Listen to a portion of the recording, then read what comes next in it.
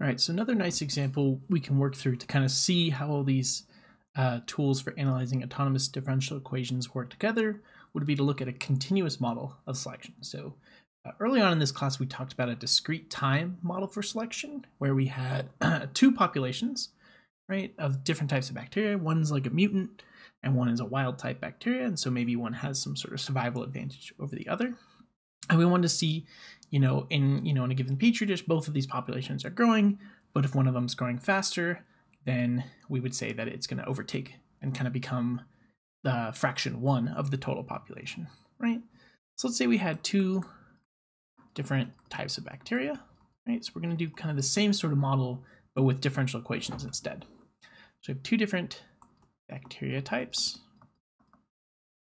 We have, let's say, mutants and wild types. Okay, and let's say that the mutants, oops, mutants will be here, wild types. Let's say that the mutants are governed by dm dt equals mu times m, right? So they have some growth rate, mu, and the wild types, let's call them w, have growth rate lambda. Okay, so the growth rate, the wild types is lambda. Okay, and we want to know, okay, which one is going to kind of become the, the most populous of the two bacteria kinds, right? So we're interested in the total fraction, the population fraction, maybe. Population fraction of mutants, right? So we'll call that x which would be m over w plus m, right? Number of mutants divided by the total population. Total pop. Okay. And so what it turns out to be, I won't work through the details, but it turns out that this uh, differential equation for the mutant fraction looks like this. Mu minus gamma x times 1 minus x, the non-mutant fraction. Okay, and so this looks, you know, almost completely different than the discrete time model of the same sort of idea, right? But this is our autonomous differential equation, right? The change in the number of mutants, right, is this number, mu minus gamma, mu minus lambda, sorry, times x, the number of mutants, times 1 minus x, the fraction of non-mutants. Okay. And so let's analyze what happens in this situation, right? What happens to the mutant fraction?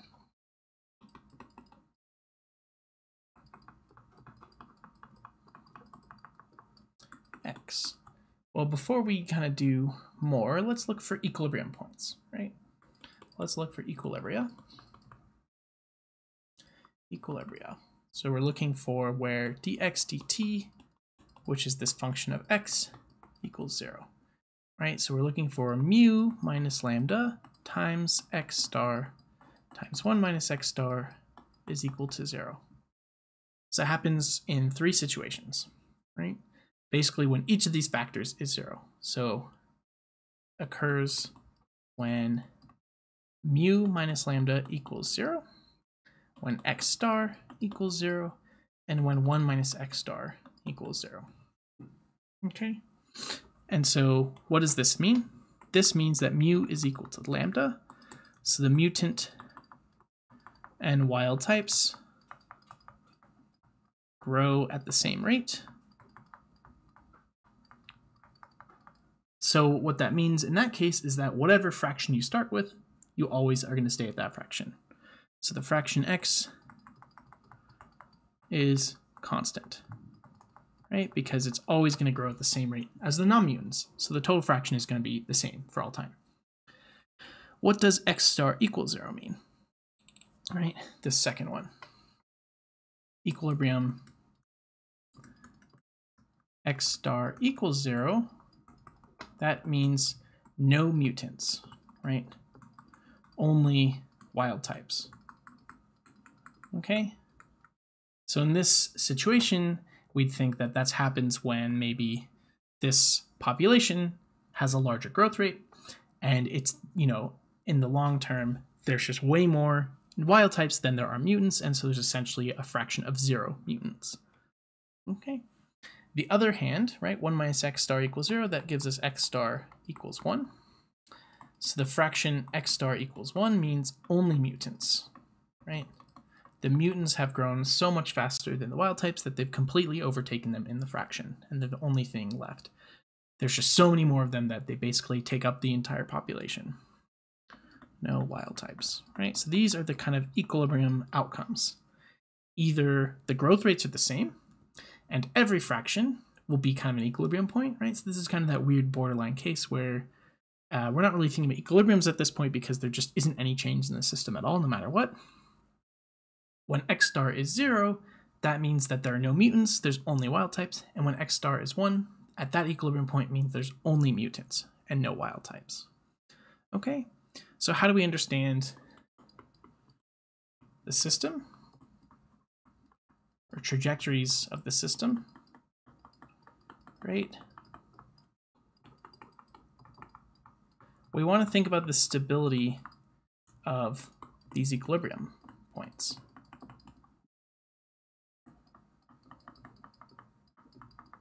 Right, so if we just use the stability criterion, right, that says that f prime of x star.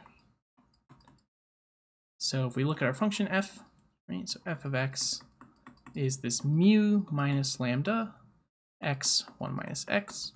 Let's factor this to make it a little easier. So this is some number, mu minus gamma, times 1, sorry, x minus x squared. Okay, so if I look at the derivative of this, f prime of x, I get the same number, whatever that number is, take the derivative of this function, that gives me a 1 minus 2x.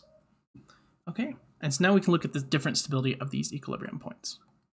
Right, so then for x star equals 0, f prime of 0 is mu minus lambda 1 minus 0, which is equal to mu minus lambda.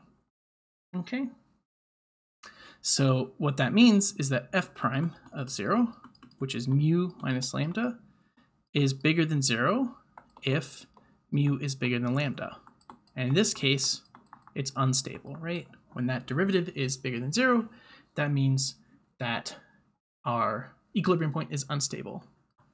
Okay, and what does that mean? Mu is bigger than lambda means that the mutants grow faster than the wild types, right? Mutants grow faster.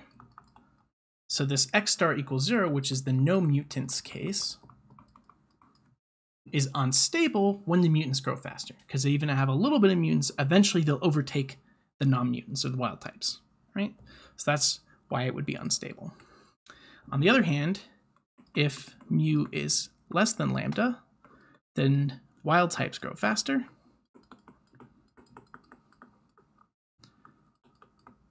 So this no mutants equilibrium point is stable, right?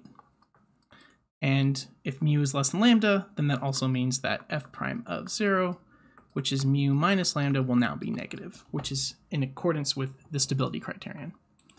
Right, so when the mutants are going slower, right, the wild types are going faster, then this no mutants case is the stable equilibrium point. When the mutants are going faster, this state becomes unstable right? For the same line of reasoning, if we look at the x star equals 1, right? If I look at f prime at 1, this is mu minus lambda times 1 minus 2 times 1. This gives me a mu minus lambda times minus 1, or lambda minus mu, right? So it's kind of the opposite stability, which makes sense.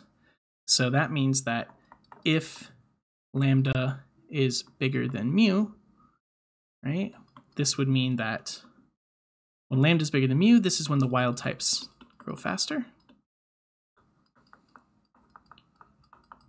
If I look at the stability criterion here, I get f prime of 1, which is lambda minus mu. Lambda is bigger than mu, so this is positive. Okay, which means it's an unstable equilibrium. right? Which makes sense. This is the only mutants equilibrium point. But if the wild types are faster, then this will be unstable, right? Because if I have any wild type bacteria, they're eventually going to overtake the mutants and become the dominant population. So the fraction would be uh, zero instead of one. Okay, so that's what makes this unstable. And then if lambda is less than mu, right, that means the mutants are faster. And if we look at our stability criterion, f prime of 1 is lambda minus mu is now negative, which means that this is a stable equilibrium. Okay, and this makes sense, right? If the only mutant's equilibrium point is the stable equilibrium point when the mutants are the dominant population, right? They grow faster, so they will always overtake the other population and become the fraction one. Okay, so this is all pretty consistent, right? So we wrote down this rule, and it's kind of consistent with what we would expect, um, given what we are assuming about these two populations, right? So we could also look at the uh, phase line diagram, or Euler's method, right? And so for that, I'm going to switch over to this other tool, this GeoGebra tool. Right, so here on the right-hand side, I have the phase line diagram. So here I have this uh, dx dt is my mu minus gamma x 1 minus x, right, in blue. And then on right in orange, ignore this red thing for now, in orange I have an Euler's method solution to the differential equation with some initial condition, right? So if we're considering the case where mu is bigger than gamma, right, we'll have a positive uh, constant right out here. So I just picked the constant 2 right? So this was the case where mu was bigger than gamma. Sorry, mu was bigger than lambda, right? So the mutants are growing faster. We expect that x star equals 1, the only mutants case, will be the stable equilibrium. And the no mutants case will be an unstable equilibrium, right? So if I look over at my phase line diagram, I have my two equilibrium points, one at 0, one at 1. And if you think about this here, in the middle here, this is positive, right? So for x between 0 and 1, that fraction is going to increase away from 0 and towards 1. So 1 is indeed the stable equilibrium, and 0 is the unstable equilibrium. And if I look over here at this picture, right, if I start my solution with some initial condition between 0 and 1, you can see that uh, this is the time axis here. So if I start in between 0 and 1, I'm going to go towards the equilibrium at 1. Okay? And so this red line is just to kind of indicate what happens, right? So if I am at some positive, um, if I am at some population level between 0 and 1, right, then the derivative of x with respect to time is positive. So this is increasing, and you can see that this trajectory is pointing towards that equilibrium point, right? And then if I was above it, right? Which is kind of non-physical for this problem, but uh, we can display it anyways, right? If we are to the right of this equilibrium point, that derivative is negative, right? This blue function, which is our, our function or derivative value for those x values is negative, which means we're going to decrease towards this equilibrium point, right? And so that's what this red trajectory here is showing. If I'm above my equilibrium point, I'm going to point down. And then if I'm below this unstable equilibrium point, right? If I'm to the left of zero here, that derivative is negative and I'm gonna move away, right? I'm gonna keep decreasing away from this equilibrium point. So we're moving away from this here, right? So if I did the solution below zero, it would go off to negative infinity. But if I did it above fraction one, it's gonna come down to this fraction one because one is a stable equilibrium and zero is an unstable equilibrium, right? But if you notice, if I start the solution exactly at zero, then I'm going to stay at zero for all time, right? Because I have no mutants.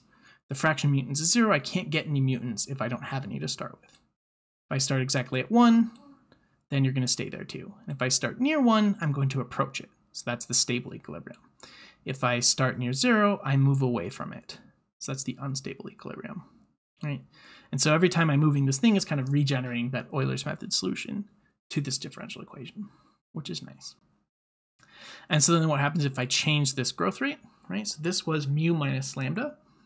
So when mu minus lambda was positive, this is kind of the stability we saw. If I make mu minus lambda negative, right? So now I'm looking at uh, this case here. Mu is less than lambda, so this mu minus lambda is negative. Okay, right, so I'm doing this case here where the wild types are growing faster. I expect that the no mutant fraction, right, 0, x star equals 0, is the stable equilibrium, and x star equals 1 is the unstable equilibrium. Oh, I did all that without switching windows. I apologize. Right, so when mu minus lambda is negative, I'm looking at this case here, where the wild types are going faster. And we expect that x star equals 0 is the stable equilibrium, x star equals 1, where you only have mutants, is unstable. Okay, so let's switch back here and see what happens in this diagram. Right, so over here on the right, again, we have the phase line diagram. So in blue is that update, or you know, that right-hand side function. Where now I'm saying that mu minus lambda is minus 2. Okay, and so it looks like a parabola that's pointing upwards. If you look between 0 and 1, what is the derivative? It's negative, which means that if you're between population 0 and 1, you're going to decrease towards population fraction 0. Right, so if you look here, uh, ignore the red for now. If I start between 0 and 1, it's decreasing down to fraction 0, right? So that's the stable equilibrium in this system. If I start exactly at 1, I'm going to stay at fraction 1, right? If I don't have any wild types, I can't have those wild types take over the fraction. But if I even have a little bit of them, right, then my population fraction decreases. As right, if I start a little bit away from that, it's going to decrease down to zero eventually. As those wild types, which grow faster than the mutants, are going to quickly overtake it in that population fraction. Okay? And, you know, just for to finish this up, you know, if I start above one, it's not physical, but it's going to increase away from 1. So if you look to the right of 1 here, it's positive. So that means that that value is going to keep increasing. And then there's no equilibrium point, so it's just going to go off to infinity. Same thing if I start uh, below 0, right? This to the left of 0 here, right? This is all positive valued for that derivative, which means that the function is going to increase, and it's going to increase until it gets to 0 right? So if I start below zero, that fraction is going to increase until it reaches zero, and then it's going to stay there for all time because that's the stable equilibrium point. Okay, and so that's kind of uh, all the situations that can happen with this type of model. And you can see it's not much more complicated than the discrete time system that modeled the same thing. It's just kind of a different view, right? Now we're able to kind of say what's happening at every moment in time, whereas those discrete time models, while they had a lot of the same equilibrium points and kind of stability criterions were slightly different, but you still had this sort of the same situation where whichever one grows faster will eventually dominate that population fraction. It's just a matter of uh, kind of the fidelity at which you can kind of see what these populations are doing. With a continuous time system like this, right? This is continuous time. We know basically the population level at every time point Whereas in the discrete time model, even though it was basically the same thing and had basically the same conclusions, we don't really, or we can't really say what's happening in between our discrete sample points in the model.